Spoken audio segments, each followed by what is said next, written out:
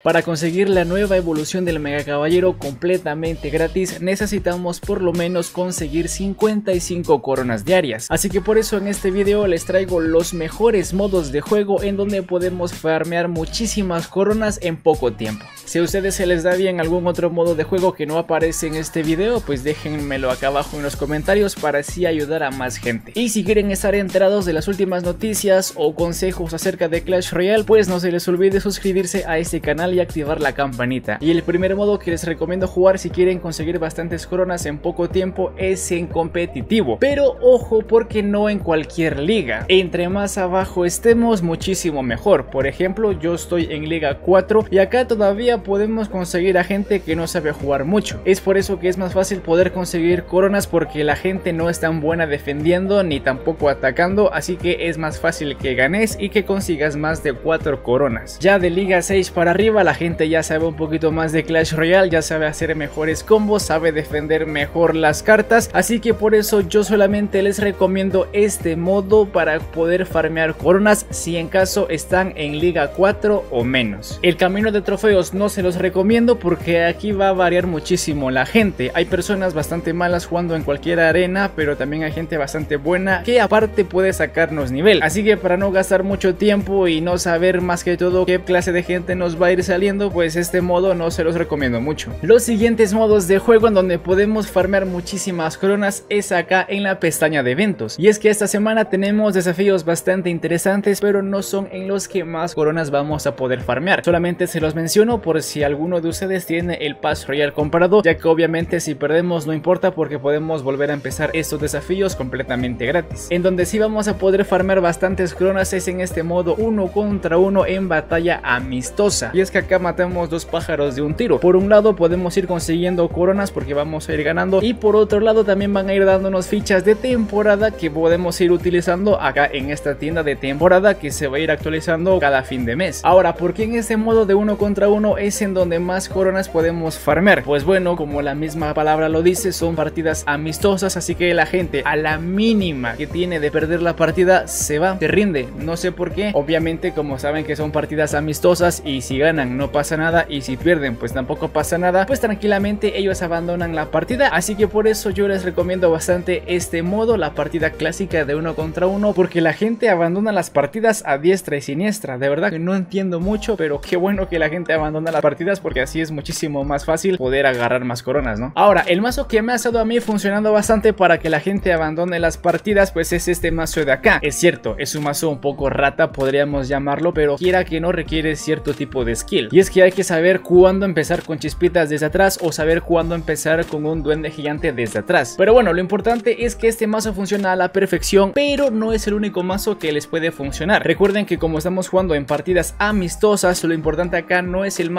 que llevemos, sino que lo que más importa es cómo jugamos ese mazo. Yo les recomiendo que si no son tan buenos jugando con mazos beatdown, que son estos pesados, con golem, gigante eléctrico, gigante duende, gigante normal con doble príncipe, así mazos pesados que te hacen ganar ganar 3 coronas si es que no los defendes bien, pues te vayas a la segura y juegues con tu mazo normal, con el que juegas copas, con el que juegas competitivo o con el que mejor se te de jugar. Les digo esto porque obviamente queremos farmear la mayor cantidad de coronas durante el día, así que por eso les digo que el mazo con el que ustedes se sientan cómodos, pues es con el mazo que van a jugar acá en estas partidas clásicas de uno contra uno. Ahora, el siguiente modo que también les recomiendo es este del viaje de la reina duende, pero atentos porque aquí también hago un paréntesis, no les recomiendo si están también en arenas muy altas. Si ustedes son de las personas de que no han jugado mucho este evento, que conozco a bastantes personas, por ejemplo en mi clan hay como 15 personas que todavía están, creo yo que en mil copas. Ahora sí les vendría bastante bien jugar en esas arenas porque la gente que está acá en mil copas o incluso menos, de verdad que es bastante manca. No sé si el juego les empareja con bots, pero de verdad que si ustedes están, por ejemplo, en minas de oro todavía, pues la gente que les va a tocar va a ser bastante, bastante mala y casi que tienen aseguradas las 6 coronas por partida. El mazo que estoy utilizando yo en este modo es este de acá, también lleva chispitas con Mega Caballero y también me he llevado este otro con reclutas que también funciona bastante bien. Ahora, el modo que para nada les aconsejo jugar si es que quieren conseguir conseguir coronas en poco tiempo son las guerras de clanes. ¿Y por qué? Por el simple hecho de que en las guerras de clanes la mayoría de gente que las juega tienen todas sus cartas al 15 y son nivel 15. Si ustedes son nivel 10, 11, 12, obviamente les va a tocar contra una persona, contra un rival que tiene su mazo al nivel 15 y es más probable de que pierdan la partida. Así que por eso no les recomiendo para nada este modo si es que quieren farmear coronas porque el matchmaking de las guerras de clanes es que no sirve, la verdad. Pero bueno, para que vean cómo es jugar una partida clásica en uno contra uno, pues voy a darle una partida para que vean qué tal es el nivel acá.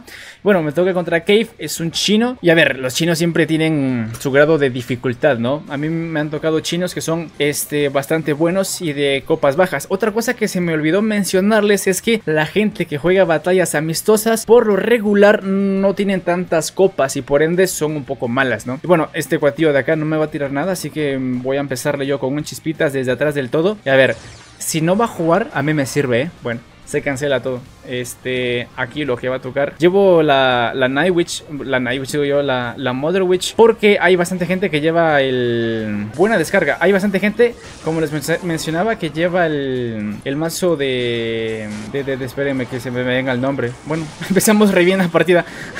les decía que llevan el mazo de eh, Logbait, ese, ese mero.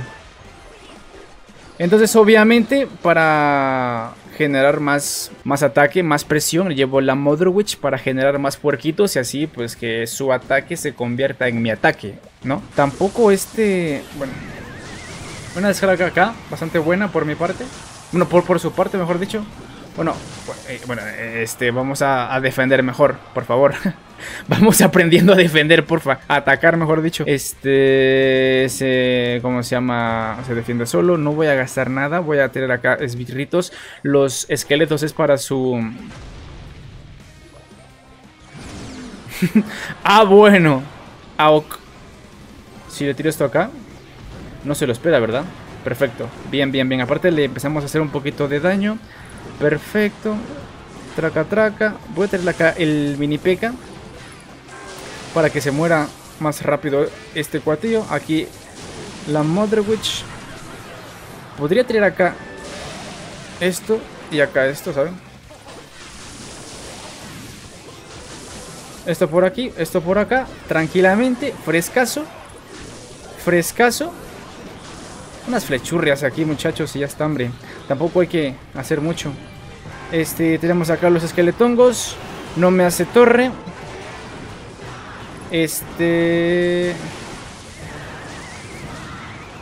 Bueno, con 10 segundos que me hubieran dado, eso eran 6 coronas. Y es porque defendí mal, malísimo. Si no, si hubiera ganado con 3 coronas. Pero bueno, en este caso me llevo 4 coronas, que no está para nada mal. bueno chicos, hasta aquí el video del día de hoy. Espero que les haya gustado. Ya saben, cualquier duda, sugerencia o comentario, como siempre, los leo acá abajo. Yo me despido mucho, nos vemos en un próximo video. Adiós.